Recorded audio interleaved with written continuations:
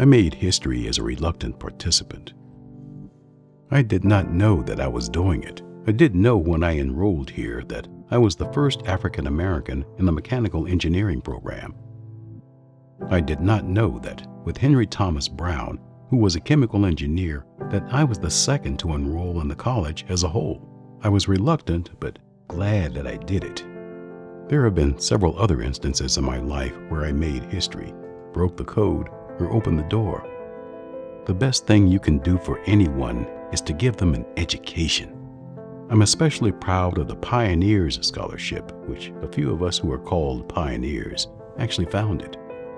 Education is the answer.